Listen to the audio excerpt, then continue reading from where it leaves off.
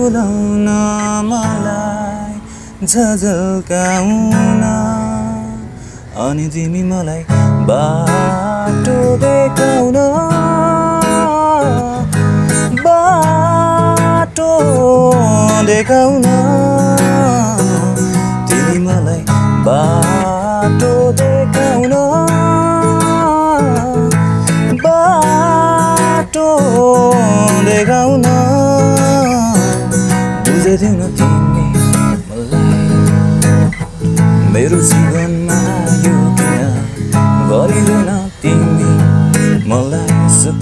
सपना आउँछौ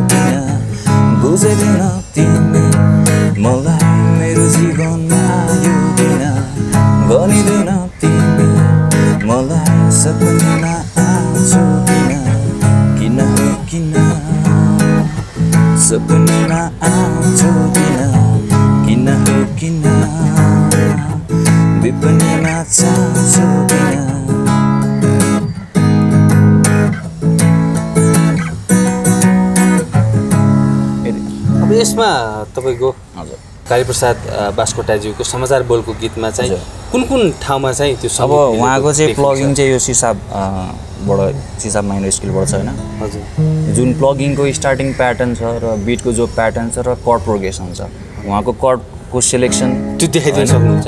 हजुर यो सेलेक्सन यो सेलेक्सन यो सेलेक्सन यो सेलेक्सन यो वे सेलेक्सनमा चाहिँ उहाँको कर्ड प्रोग्रेसन गएको छ। सेम वेमा मेरो गीत पनि यही सेलेक्सनमै गएको हो।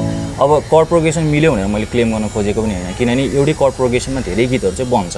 तर यहाँनिर मिलेको के हो भन्दाखेरि नोटेसनहरू जब नोटेसन एउटा कर्ड प्रोग्रेसनबाट प्लगिङको प्याटर्नमा आउँछ नि त्यो प्लगिङ प्याटर्नमा यो यो प्याटर्न जो छ उहाँको अगाडिको थिएँ होइन त्यो प्याटर्न मेरो उसँग मिलेको छ क्या। किनभने यो म आफै गाइने आफै बजाउने भएको कारणले गर्दा यो धुन त मलाई त रेकगनाइज हुन्छ नि कुन कस्तो धुन रहेछ भनेर।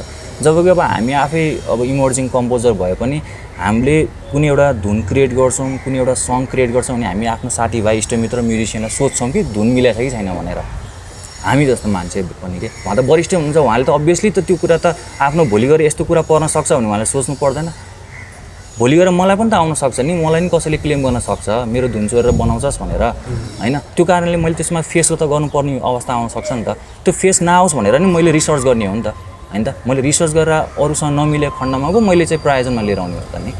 अब अहिले रिसर्चै नगरिकन होइन आफूले अलिकति काहीँ काहीँ सुनेर टाकाटुको बनाएर चाहिँ इम्प्लिमेन्ट गर्नु भनेको चाहिँ अरू स्ट्रगल आर्टिस्ट इमर्जिङ आर्टिस्टको लागि चाहिँ धक्का नै हो क्या। के केही सन्देश दिन चाहनुहुन्छ? हजुर। बास्कोटाज्यूलाई यतिखेर।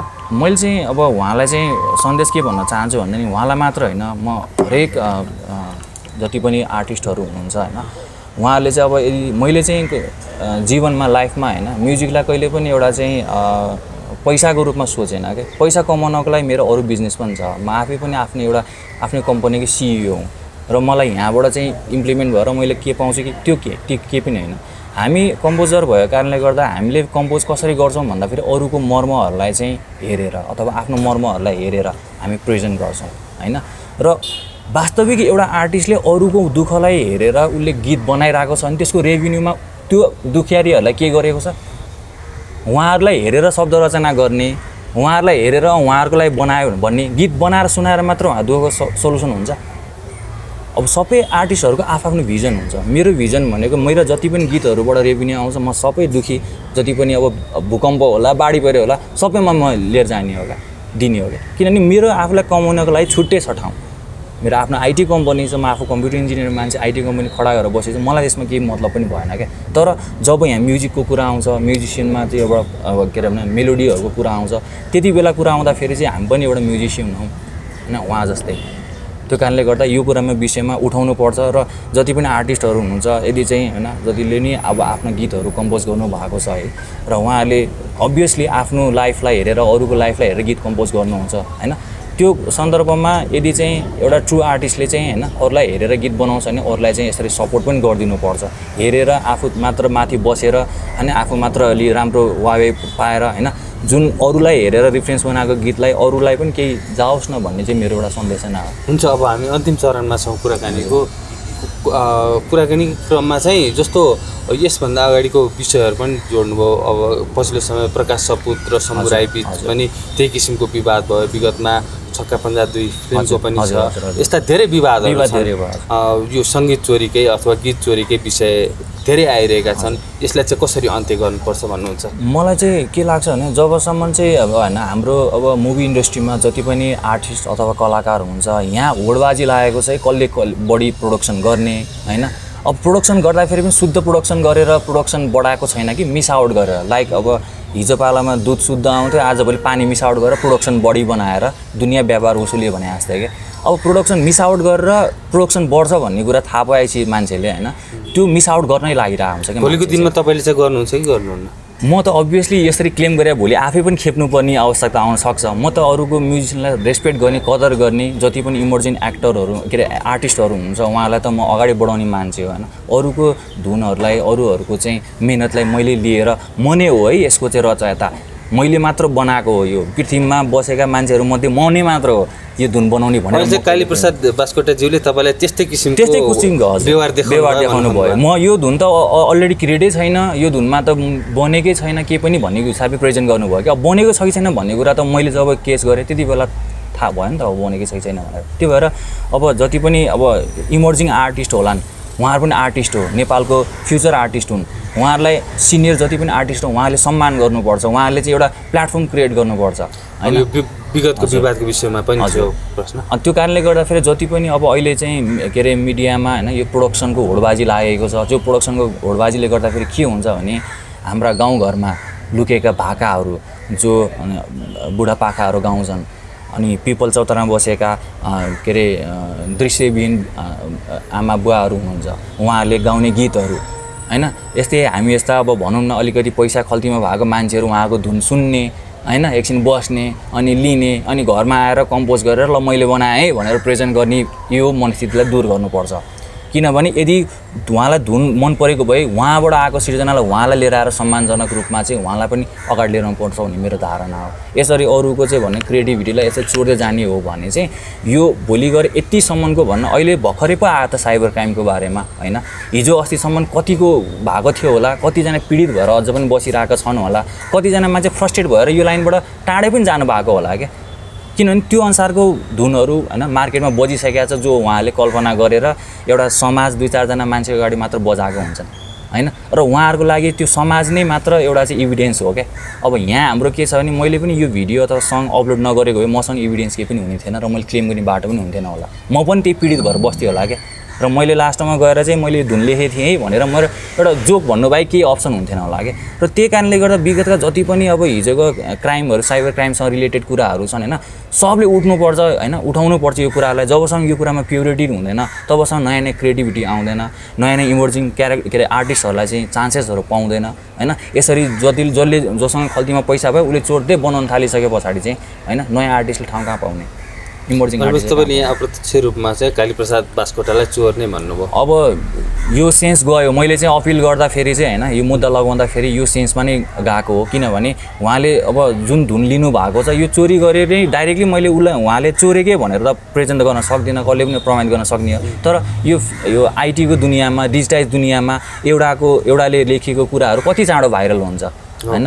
हिजो एउटाले लेखेको कुराहरू कति चाँडो भाइरल हुन्छ अरूले पब्लिस गरिरहेको हुन्छ कतिजनाको रचनाको चाहिँ भनौँ स्क्रिप्ट राइटरहरू यहाँनिर फ्रस्ट्रेट भएको छन्।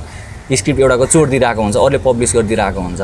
होइन? धेरै सिङ्गरहरू हुन्छ जसकोले चाहिँ आफ्नो चाहिँ होइन रात दिन मिहिनेत गरेर आफ्नो चाहिँ होइन जीविका पार्जन गर्नको लागि केही धुनहरू क्रिएट गरेर उहाँको जीवन ध्वस्त हुन्छ नि त त्यो कारणले गर्दाखेरि। मैले चाहिँ उहाँलाई चोर दोष लाउनु भन्दा पनि उहाँले कुन तरिकाले यसलाई हेर्नु भइरहेको छ?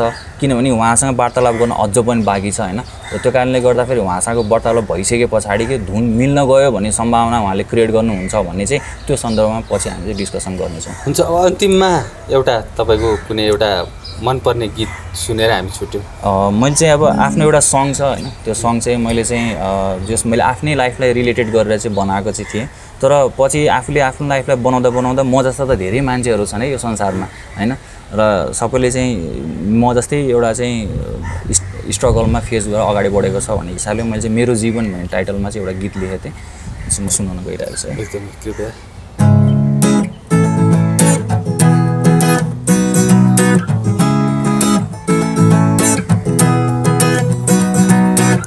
हिँड्दा हिँड्दै सकिएछ।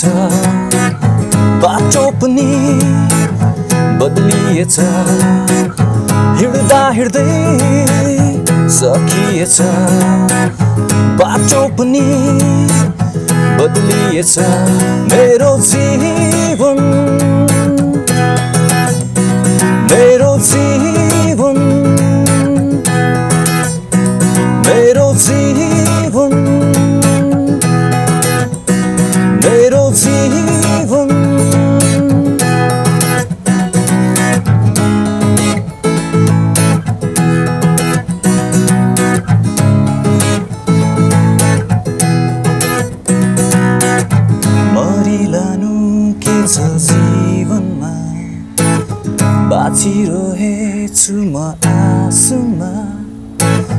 यात्रा मेरो अधुरो छ।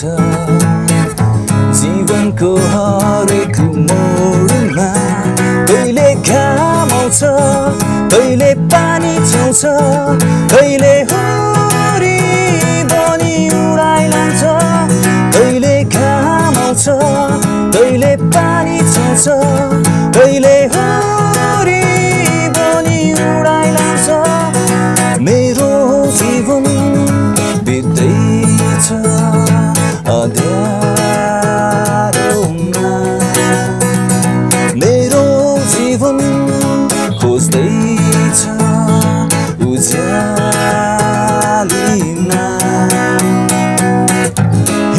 हिँड्दा सकिएछ। बाटो पनि बदलिएछ। हिँड्दा हिँड्दै सकिएछ। बाटो पनि बदलिएछ। मेरो जीवन